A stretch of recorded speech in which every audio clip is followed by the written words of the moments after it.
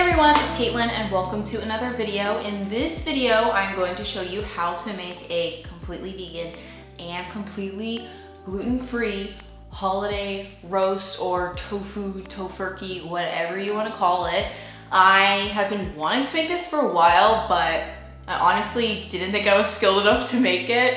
So I finally tried to make one this year and it worked so well. I'm patting myself on the back, I'm very proud of myself. But I'm gonna show you the recipe. Before we get into the video, I wanna say that this video is proudly sponsored by Nasoya. I'm going to be using their organic, extra firm tofu in this recipe as the outside portion or the main portion of our turkey. And I love Nasoya tofu because it's organic, non-GMO, it is really high quality, and I do think that the flavor is really, really good. It's the tofu that I prefer to use in all my recipes and my everyday cooking. So if you see this in a store near you, definitely check it out. I will have a link to the full blog post down below, as well as a link to their store locator. So with all that being said, let's get into the video. We're just going to need a few key ingredients for this recipe, all of which you can see here. But we're gonna get started with our tofu. We're going to use two blocks of Nasoya's extra firm tofu for this recipe. If you have time, I would actually let it cool slightly on the countertop beforehand. It just makes it easier to handle because we're going to be quick pressing it. So first, we're just gonna cut the blocks in half using a knife. This just makes them easier to press and I don't know about you, but I don't got time to wait like five hours for my tofu to press, so we are force pressing it. You can use a nut milk bag or a clean kitchen towel, and you're gonna work with one of the smaller blocks of tofu at a time. I found that when you work with a smaller block of tofu, it's easier to squeeze more liquid out of it. So instead of waiting for forever to get the liquid out of our tofu, we're just gonna use our hands and squeeze it out. Get a nice forearm workout, whatever. Uh, just try to get as much liquid out as possible. And also keep in mind that it's okay that you're totally crushing the tofu block because it's going to be blended later. The main goal here is to just get all of that liquid out.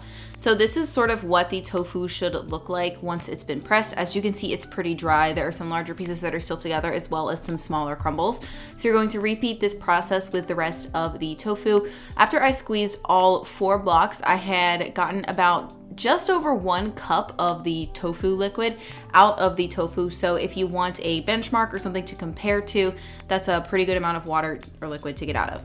So this is what our tofu looks like once it's finished. It honestly kind of looks like it's ready for a tofu scramble, but that's not where we're going today. We're going to plop it into the food processor and blend it with our other ingredients to form our tofu turkey. So we're going to need some minced garlic, a fourth of a cup of low sodium tamari. Make sure you use low sodium or it's gonna be too salty. We're also adding two tablespoons of oil to add some moisture to the recipe and some poultry seasoning, which is a blend of spices. It is vegan. We're also going to add two tablespoons of tomato paste and a teaspoon of vegan chicken flavored bouillon. Uh, I like to use this paste, but there are also powder variations that you can use as well. Once you add all of that to your food processor, you're going to blend it for, I would say, at least 60 seconds. You want to make sure everything is very, very well incorporated and that the tofu becomes smooth. So then at this point, we're going to add in one cup of chickpea flour to the recipe. It's going to help make our turkey a little bit firmer and make this tofu paste easier to work with. I also really like it because it's high in protein, so it makes the final texture of this dish a little more realistic. So this is what the mixture should look like once it's done. There should be no clumps of chickpea flour. It's pretty thick, but it will still be pretty wet. Like you can't form it into a ball with your hands or anything. So now we're going to plop two thirds of this tofu mixture into the bottom of an eight inch loaf pan that you have lined or greased. And I like to start by adding the bulk of the mixture to the base and then spreading that around so you have a thick base layer. And then from there, I like to use my spatula to sort of press into the mold and press it up the sides. You want the majority of the sides to be covered in a relatively thick layer because we're creating a well for our stuffing and we don't want any of the stuffing to peep out of the sides. So I find the easiest way to do this is to press it all to the bottom so you don't have any holes and then to sort of scale up the sides.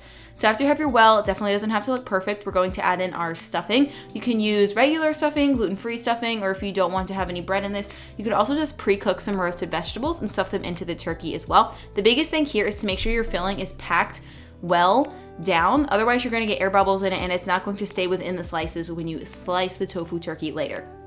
So now we're going to top our loaf pan with the remainder of the tofu mixture.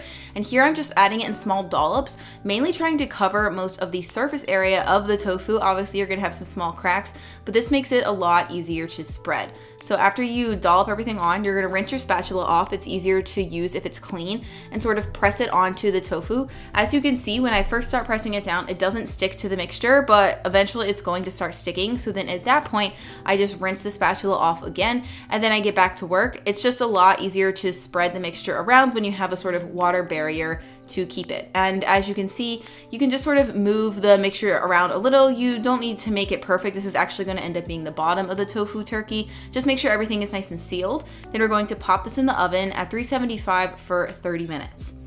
So after 30 minutes have passed, we're actually gonna take a baking sheet, line it with parchment paper, and then take our tofu turkey out of the oven. It should look a little something like this. I am using a knife to sort of loosen up these sides because I just lined it with parchment paper and I didn't I did grease the sides, but it still stuck a little. So then we're going to flip the turkey onto that parchment paper and take the pan off. It should slide off pretty easily. And now we're going to baste the turkey or just use a pastry brush to brush balsamic vinegar on all sides of the turkey. You want it to sort of soak into the outer layer a bit. This is going to help with browning. I probably use about a tablespoon in total, but you might use a little bit more or less depending on how hand, heavy-handed you are. And then last but not least, I gave my turkey a little quick spray of non-stick non cooking spray. Jeez. Um, this helps to caramelize the exterior a little more and get a little bit more browning, but it is optional. So now we're gonna put this back into the oven for around another 30 minutes.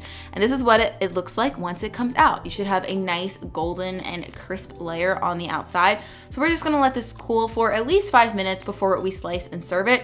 As you can see, you got that nice glossy exterior. The I actually recommend using a serrated knife to cut this. I find it goes through easier um, and sort of slices through the turkey better. And you got that beautiful, perfectly stuffed filling. Oh, I went and stuffed or slice the rest of it. Sorry guys, I'm at a loss for words. I'm so happy with how this came out.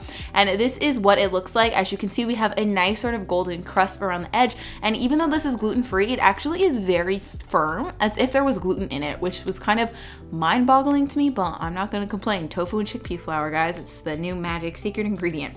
So you can serve this however you'd like. I just kind of plated this up with some other standard Thanksgiving recipes. I actually used my vegan stovetop stuffing for this recipe, as well as my tahini gravy, and I made a new green bean casserole recipe that will be coming to the blog soon if it's not up there already.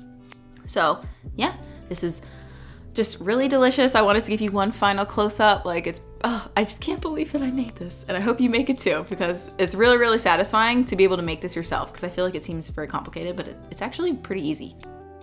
All right guys, and there you have it. I really hope you try this recipe out. Obviously, no, you're not going to convince a meat eater that this is a turkey. I wanted to make this recipe more so plant-based people or people who don't eat turkey could have a vegan and gluten-free option that is more accessible and affordable because oftentimes those holiday roasts are kind of hard to find in the store and they can be really, really expensive. And also, I don't think I know of a single one that's gluten-free. So I wanted to make it vegan and gluten-free and it's only made with around nine ingredients. So all of them are pretty budget friendly too. And you can get most of them in a standard grocery store. So I hope you guys like this recipe. I have a ton more Thanksgiving recipes on my YouTube channel as well as on my blog. So I'll link, I think I have a playlist and I have a roundup blog post too that I will link down below for you. So have an awesome day, stay awesome, like, subscribe, comment, whatever. I'll see you in the next video. Bye.